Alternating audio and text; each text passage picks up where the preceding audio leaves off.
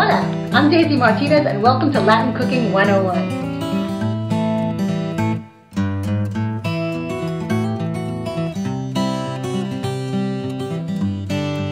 Everybody has their own recipe for making alcapurrias, but my favorite way to make alcapurrias is with yuca, which is this um, this root vegetable. And you can see yuca is very, very perishable, so they coat it with wax to help preserve it, much like they would a cucumber. And we're going to be peeling that thick, um, uh, waxy skin right off.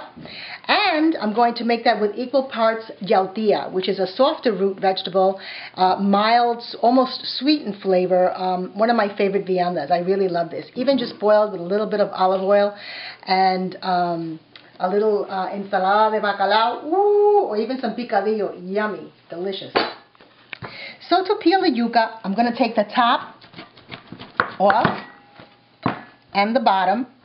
When you buy a yuca, you want to feel it. You want to make sure that there's no soft, rotten spots. You want it to be nice and firm. I'm going to go ahead and just take that, that thick, woody skin right off all the way through to the beautiful white pristine meat inside. You can see that little speck in the middle of the yuca. That's going to be your guideline. I'm going to have the yuca right around there and I'm going to show you why. There is a long fibrous root that runs down the center of a yuca and you really need to get rid of that before cooking. Just follow it right down and get rid of it and then we're going to add well you can see over here if you lose your way there it is again you see it? So you can follow it. Wherever you have the yuca you can follow it. And then we're just going to go ahead and put this in salt water so it doesn't discolor. My second favorite vianda is the yautía cousin to malanga Malanga is very similar to yautía, but it has a pinkish lavender color. Uh, and again, it's very the meat is very mild, almost with a touch of sweetness. Uh, it's got delicious mouth feel. It's um it's soft, almost like uh, the density of a potato, as opposed to the yuca, which is much uh, much harder root. Uh, and to fix our the our um, we're just going to top and tail again, and I'm going to use my wide peeler to get rid, and you see this beautiful creamy white flesh inside. This, this is the yuca, and you're going to see how different this is. It's almost pebbly. You see it coming down off the, off the, uh, the grater. So now we have a piece of yautía. Look how different. You see how much creamier it is than the yuca.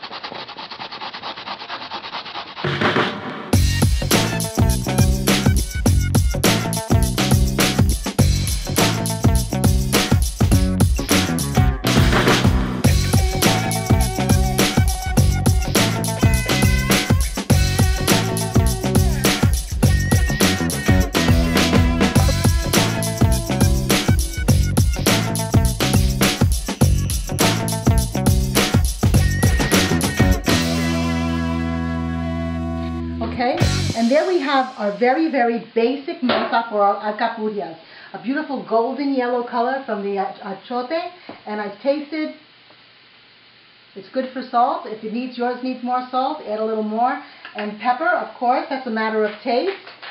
You could also add some fresh chopped cilantro or parsley or even a little bit of heat uh, if you're so inclined. This, again, this is very, very basic. And when I come back, I'm going to show you a couple of fillings to make so you can fill your alcapurrias with lots of delicious yumminess. Be right back.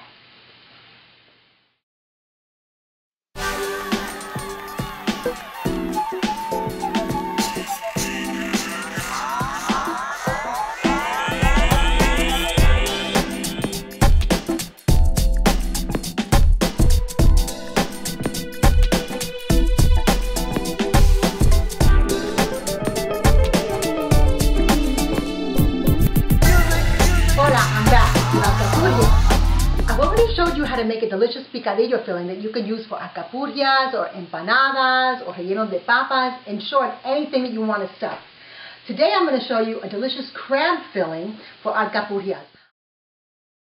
So today, I'm going to put a little daisy spin on those on those uh, crab alcapurrias. Of course, you can make crab alcapurrias um, using fresh crab meat and a little sofrito like we did our picadillo, just a very, very basic, almost like a salmorejo de, de Jueyes with a little sofrito and tomato sauce and uh, alcaparrado and stuff. But let's change things up a bit and make them a little bit exciting. I have some chorizo here that I took out of the casing, and I love the sweetness of the crab with the saltiness and the garlickiness of the, of the chorizo. Yum. How about that for a contrast in flavors?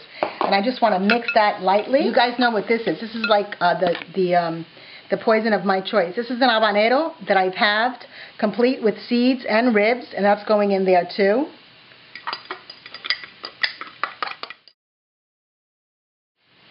And then I have a, a little bit of parsley for freshness. And then the, the zest and green and the juice of a lime.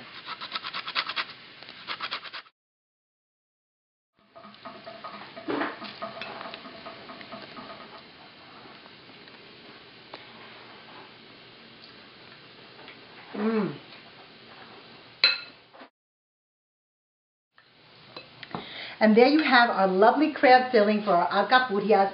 I'm going to be back in just a second to show you two fillings for delicious alcapurrias for your next party.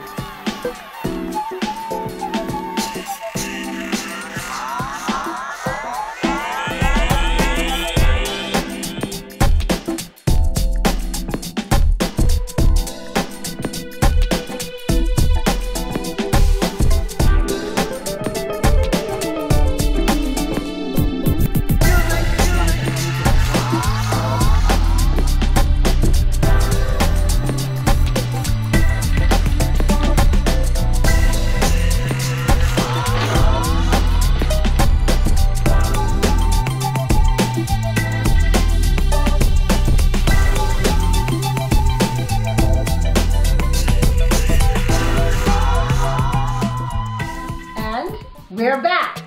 It's alcapurria time. It's alcapurria time. I made two different kinds of alcapurrias. One with our traditional uh, uh, beef and pork picadillo, and one with um, shrimp and chorizo. A little bit of heat, some parsley for freshness, and a little bit of zip from citrus. And let's go ahead and open one of these babies. Oh boy, I got a crab one. And you can see the masa is cooked all the way through. Yes. Look at that. And now we have the beautiful beef and pork picadillo with the chopped caparrado in it to give it a little bit of brine, a little bit of saltiness. Cumin, salt and pepper.